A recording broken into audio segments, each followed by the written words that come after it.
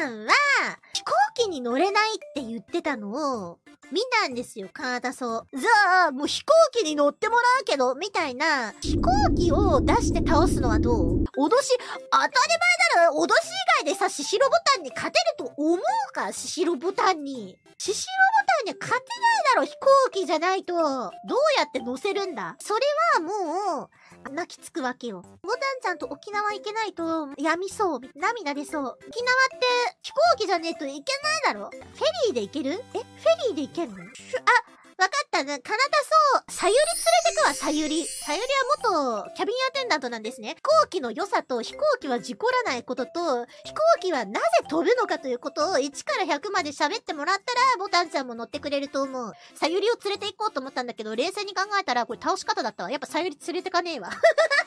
乗るところまで来てもらって、飛行機が動き出したら、ボタンちゃんが怖がる程度にさゆりにプレゼンしてもらうのが、多分一番いいですね、と。で、コロネ先輩の倒し方か。コロネ先輩はね、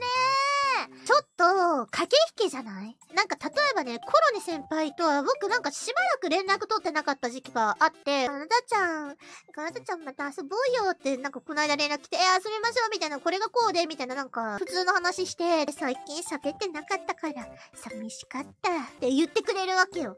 そういう気持ちを利用するのがいいんじゃないでしょうか。おかゆを人質に、おお、おかゆを人質になってこっちのもんだぞ。う、どうする？どうする？って言ったらさ、あの、多分殺されますよね。ボコボコにされるね。おかゆは弱点っていうか覚醒させるんだよ。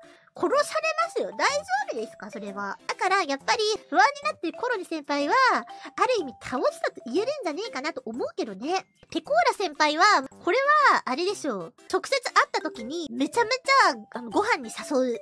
あと、めちゃめちゃベタベタする。これでペコーラ先輩泡吹いて倒れると思うわ、多分。え、ペコーラ先輩、ペコーラ先輩手みたいな感じでベタベタして、え、ペコーラ先輩この後、え、うちに来ます？みたいな感じでめちゃめちゃうざがらみをして、そうすると泡吹いて倒れると思うんですけど、多分その後、ちょっと疎遠になるかもしれん。ペコーラ先輩ごめんなさい、僕、やっぱりやめときますすいません嫌、嫌われない、嫌われない。ペコーラ先輩優しいから 嫌われないけど、まあ、人の嫌がることをするのはやめましょう。力で勝てるいや、物理で倒すのやめよう物理で倒すの。